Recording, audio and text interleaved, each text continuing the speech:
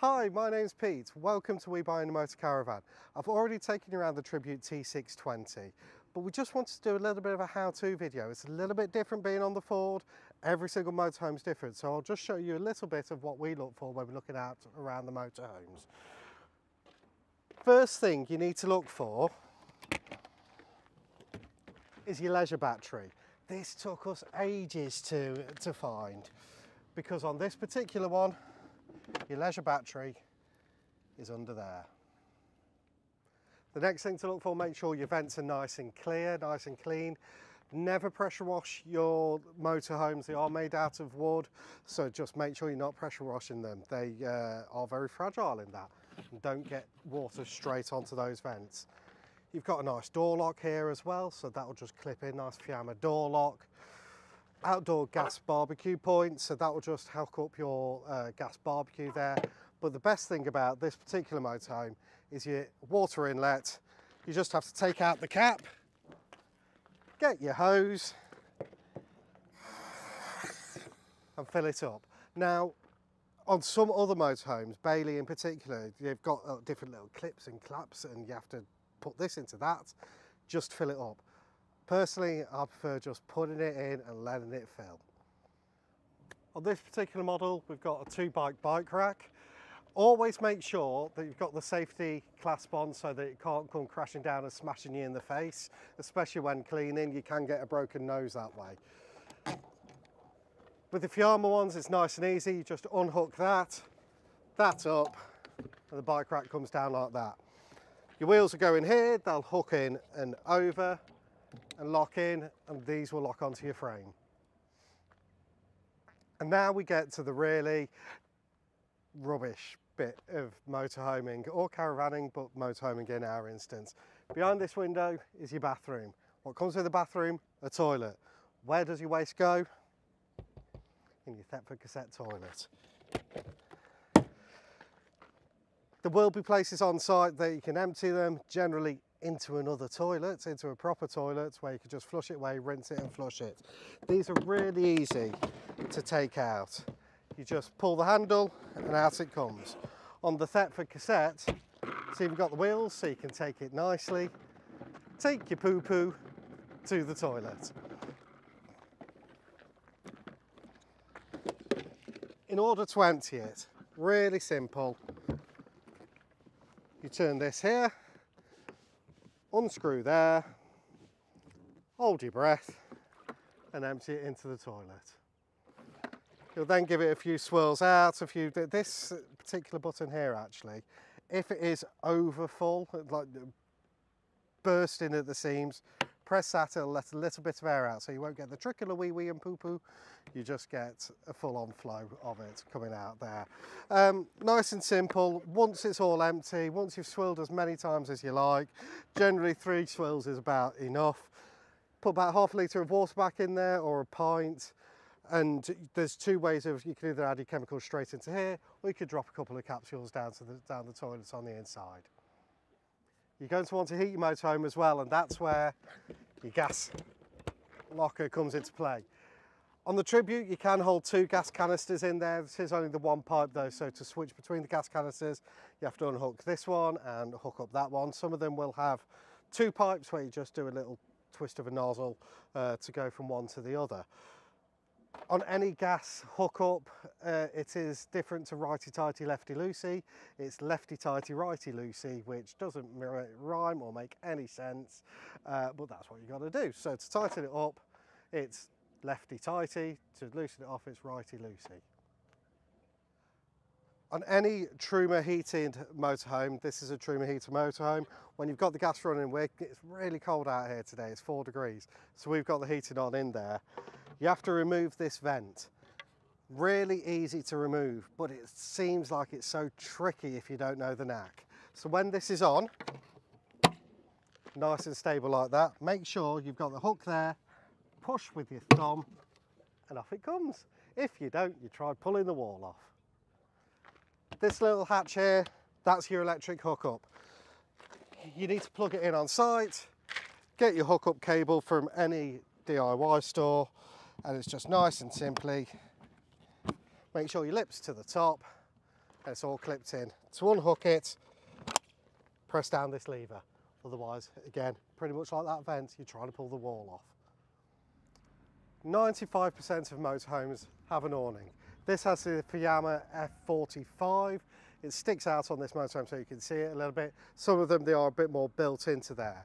Uh, but the awnings are great for shade, of having barbecues underneath. Like we said, there's a barbecue point here. What do you need first before you get the awning out? An awning pole. You get the hook, you put it in this hole here, then you fast forward the video.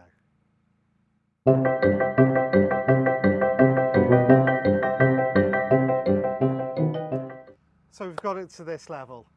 It's not great when you've only got a little bit of clearance, so you've got to get your legs up. Every awning is going to be slightly different. The Fiammas I really like because they're nicely easy tucked away. You just pull it out, give it a little twist, and then down there, you can see you've got two little holes and my shoes to make it nice and secure. Get both legs down and out before you do anything else.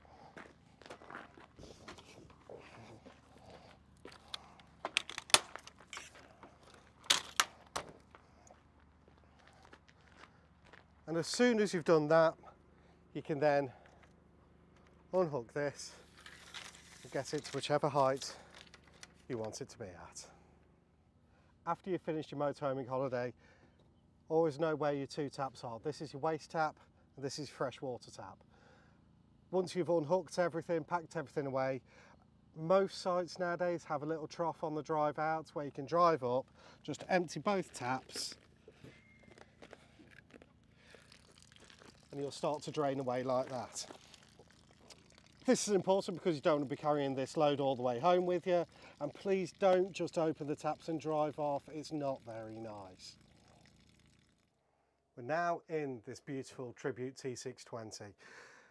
I wanted to go through the sleeping areas first. You've got two different sleeping areas. You've got a double bed up here and you've actually got a double bed here as well and I'll talk you through how that works. So this has got the safety gate there and you do have a ladder. Personally, when I'm traveling, I will travel with that safety gate up because then you can store the ladder behind and you know it's not going to slide off and smash your kids in the face uh, uh, on some sudden braking. Nice and easy to get the ladder set up. Hooks into these two hooks here and then you're in. It does say it's not suitable for children under six years old unsupervised. I wouldn't put a child under six years old uh, up there personally, but as soon as you're up there, you've got a light in the back corner and then you just hook that back on like that. You're nice and safe and you're not going to roll out of bed and bump your head. Once you've done that, your second area is actually here. And it's the easiest bed I think I've ever, ever had to transform in a motorhome. All you actually do is drop this table down and do the filling cushions. Let me show you how.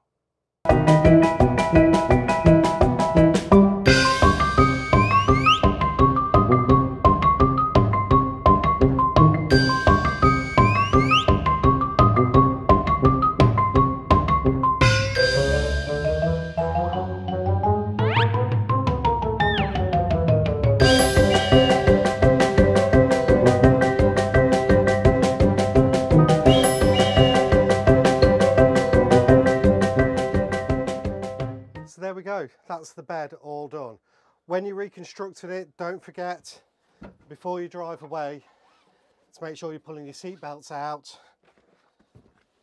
and around so that you can travel safely when you're going. There is actually a fifth bed here, or a fifth berth. I've definitely slept on worse in my time, but that's a story I won't go into. Stories I won't go into. Uh, that's your fifth bed there. You haven't got a fifth a way of travelling with a fifth person. Uh, some motorhomes you will have a lap belt under this seat here, but this particular one you don't. But if you do make a friend, they can keep here. One thing I always do before I go on any holiday, and it's a bit daddy, I know, I come into the motorhome and I double check that everything's working before we go because the last thing you want to do is have your kids, I've got three of them, daddy, daddy, I want something to eat, and your gas doesn't work. So make sure you've got a full gas canister out the back and just make sure that each and every one of your rings keep burn, burn, burn, those rings of fire, those rings of fire. So this particular motorhome has an oven grill running off the gas. Don't forget to uh, take your vent off outside. So it's the way it, it's nice and easy, righty toasty. Make sure you get your grill on for your toast. Look at that. Righty toasty that side. That's where your toast happens. And left is your winner winner chicken dinner. So the last bit, someone always has to do the washing up. Uh, I would say it's generally me, but I'm generally the cook in the household, so it's more than likely going to be my wife. The sink is nice and useful. Hot and cold water, make sure that your water pump is on on the control panel. Make sure you've got fresh water in your tank. This scared the hell out of me when it first happened, when I got my first motorhome, because we've just filled the tank, we've got the boiler on, uh, and it's not pulling through clean yet. It's beginning to get warm actually already, but it's not pulling through clean yet. Just leave that running and eventually it will pull through clean. But this will happen when you first turn it on. Every motorhome has a fridge. This is the Dometic fridge again. Remember, don't block the vents out the, out the back. Uh, make sure it's locked. So that is now locked so that your milk and your beans, if you carry beans in your fridge, uh, but definitely your bacon and your eggs don't go flying around the van whilst you're driving. Unlock it, you've got a nice big fridge there for you. It can go from off, it can be powered on the gas. Hear that clicking? It means the gas is just firing up to make sure that the fridge stays cold. We are actually on mains hookup at the moment, so you can go to mains hookup. And whilst you're driving, to keep everything cool, you can go to your drivers uh, to the cab battery there. That there will just, like any fridge, make it as cold as you like. Me personally, I'm a nice, simple man. So I do like to have a nice, simple control panel. Uh, nothing really is uh, easier than this one. Your on off switch, this is if you want it to run off your leisure battery. If you're on mains hookup, pump it through to here. Your water pump that I just talked about, you can now just about hear that kicking in in the background. And if you're unsure on how much fresh water you've got, hit that button and that's your level indicator there. These, just light switches. Night night. Every motorhome needs heating because they're essentially just a van with bits of wood around them. This one's got one of the best ones out there. It's got the Trumatic Truma Ultra Heat. It works off both gas and electric. I'm just about to show you the gas element of it, uh, and then I'll show you how it works on the electric side as well.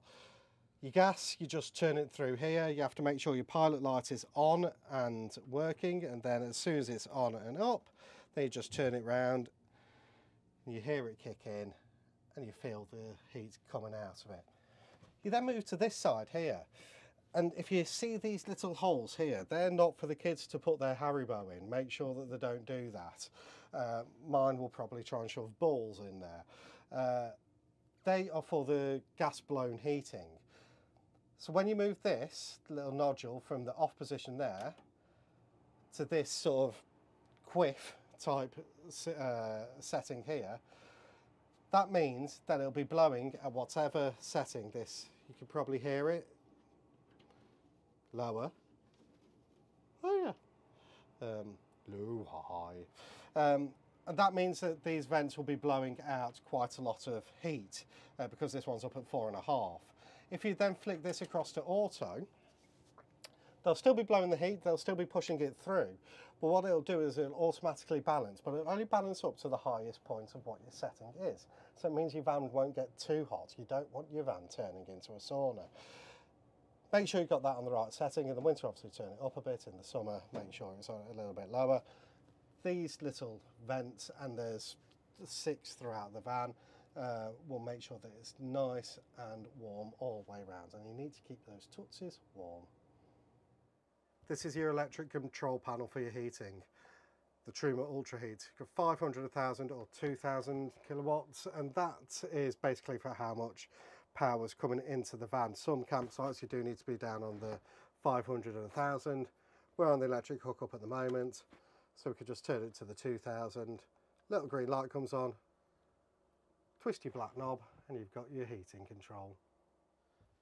Like I say, winterising your motorhome is really important uh, for two key reasons. One, you don't want your pipes freezing. The motorhome probably isn't get used, going to get used through the winter.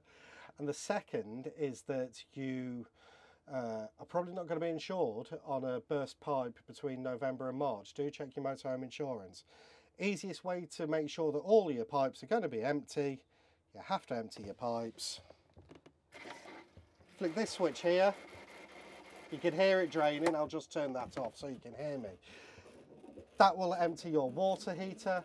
As soon as you've done that, go around the rest of the motorhome, open up all the pipes. So open up your sink, open up your bathroom sink, take your shower head off and leave the pipe uh, dangling down into the shower so that that drains off nice and easily. And then go outside and open up those two pipes outside, your fresh water and your wastewater as well. Make sure there's nothing that can be taken to chance in your motorhome. So on the Truma water heater, you've got two ways of heating it, through the gas or through the electric. We're currently on mains hookup, so we're on the hottest electric because I like a nice hot shower. Or you can just flick the switch for the gas. Don't forget your fuse is under there. And that's basically how you heat your van. It's really easy. Even I can do it. So that's my walk round of this Tribute T620. There's a lot going for this van, as you can see. Personally, I love the way this double bed is so easy to, uh, to get into place. Really makes a difference when you've got young kids. Don't forget to like and subscribe to the channel. My name's Pete. We Buy Any Motorcaravan. Get in touch with us soon. Have a nice winter. Hey, you made it to the end of the video. Please press subscribe at the bottom or like if you're on our Facebook and watch the latest news and motorhome reviews. To find out more information, you can go on our website www.webuyanymotorcaravan.com. Telephone us on 01283 240 237.